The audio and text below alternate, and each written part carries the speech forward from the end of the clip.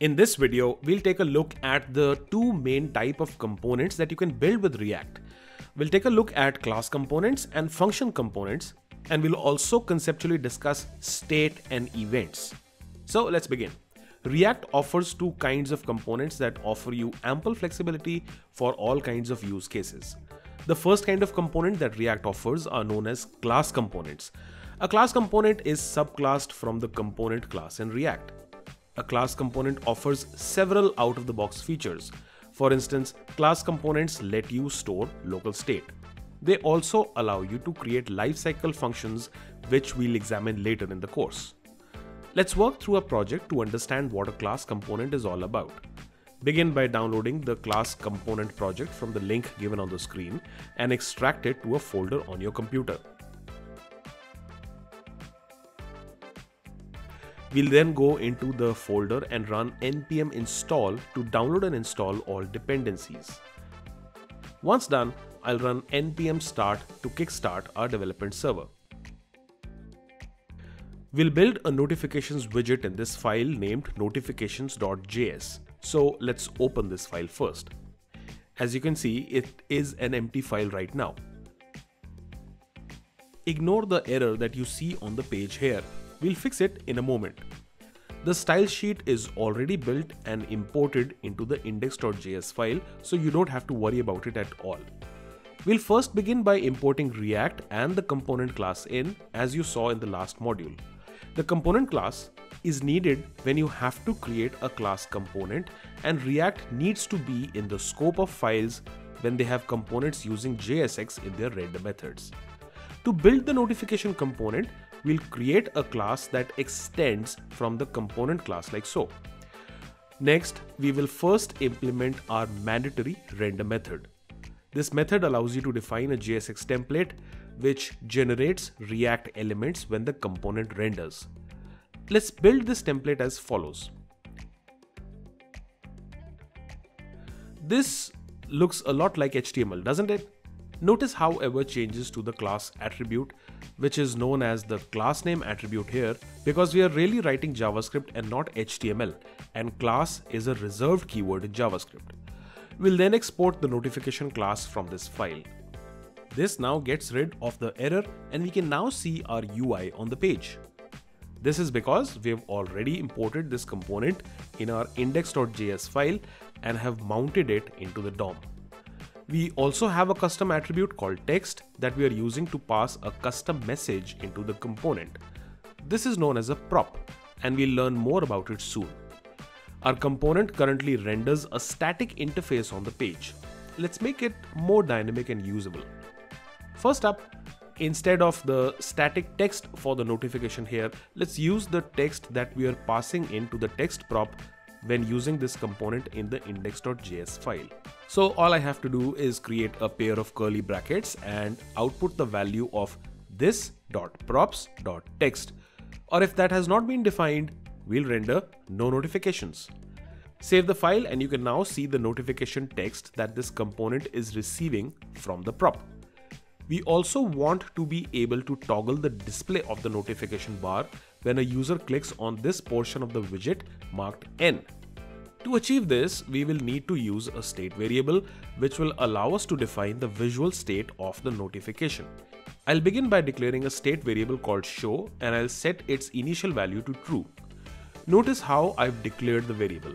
This notation, known as class field declarations, is not yet in the ECMAScript standard, but thanks to Babel and Webpack, we can use it today to easily declare state variables and methods that are bound correctly to the class and its scope. Once set, we can now use a ternary operator directly within JSX to either render the notification or not, depending on the value of the state variable named show. Now, whenever show is set to false, the render method here will be recomputed and the notification text panel will be removed from the DOM. This is known as declarative programming, which lets you describe visual elements using data in state variables. To toggle the value of the show variable, we'll create a method known as toggle display, which will use the set state method to toggle the value of the show variable like so. The set state method which is provided to you on a class component should always be used when you have to modify the value of a state variable. Now, how would you invoke this method? Simple. We'll create an on-click event listener on the toggle button div and we'll simply set it to invoke the function like so. When the user clicks on this element, React internally dispatches a synthetic event, an abstraction for managing browser-specific native events seamlessly. Save the file and you can now click on the N button to toggle the display of the notification panel. So that's how you build a class component. Simply speaking, class components offer native support for state management and lifecycle methods. Now the second type of components that you can build with React are known as function components. These are just simple functions that return a React element. They can also bring in a props object as an argument. At its most basic, a function component is a presentational component, which lets you accept data through a prop and render it on the UI. They're perfect for separating the visuals from the container components where your logic and state may reside. These functions do not offer built-in state management, or lifecycle methods and other bells and whistles that class components may offer. While originally designed for elementary and simple use cases where class components are an overkill, the beauty of function components is in the syntax and simplicity. They're simple JavaScript functions. And while natively they may lack the bells and whistles of a class component, React recently introduced the Hooks API, which lets you incorporate state and lifecycle methods right within a function component. This means you can upgrade a function component to include state management and other advanced features without converting it to a class component. So without further ado, let's quickly build a function component. We are back in the same app where we built our class component named notification earlier. What we'll do here is extract out the notification text div into its own function component. This is as simple as creating a function named notification text where we'll extract the text prop from the props object argument like so, and this function just returns the notification text div template. Now all we have to do is call the component as a regular JSX element and pass in the value of the props to the text prop that we are using in the function component. This will work in exactly the same way as before. That's how easy it is to build a function component. They're simple, lightweight, and easily upgradable. So how do you pick between class and function components? While class components as a syntax isn't going anywhere, it is safe to say that function components coupled with the super powerful Hooks API offer a cleaner and simpler syntax in the long run and are probably a better bet. Your code is more readable and is also easier to test. Having said that, there is nothing wrong with using class components as well, and we'll be using them throughout this course, along with function components. Now, one thing you would have noticed across both types of components, the use of JSX for describing the template that renders. Undoubtedly, components are an interesting topic, and there's a lot to learn and discover.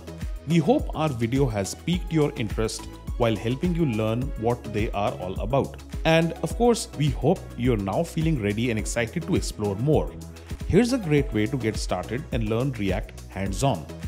With our outcome-based immersive learning approach, we are fundamentally disrupting the way new age technologies are learned.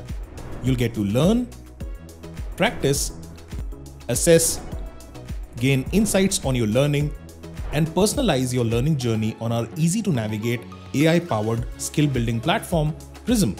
Stay tuned for more such videos and explore more about how you can equip yourself with immediately demonstrable in demand skills that will help you get job ready. And don't forget to subscribe and press the bell icon to get notified so you don't miss out on our upcoming videos.